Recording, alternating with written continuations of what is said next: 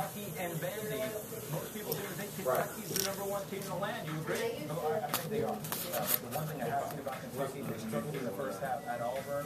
So they pulled out away. They struggled in that game against Tennessee. Curious to see how the youth of Kentucky is going to handle a very intimidating environment. Game day at 8, the Gators at 9 right here on ESPN. And some breaking news here from SEC, and this is not good, not good at all for Alabama, as they have suspended indefinitely JaMychal Green, Andrew Steele, and Trevor Releford for a violation of team rules. This according to head coach Anthony Grant. Jay Will. And Trevor Releford, a huge offensive plug for his team, along with JaMychal Green. Andrew Steele comes back. A defensive presence, a big-time loss for. Alabama playing at LSU tonight at 7 o'clock. four major suspensions for the Crimson Tide. Jay and I back after this. You're watching the UPS Halftime Report.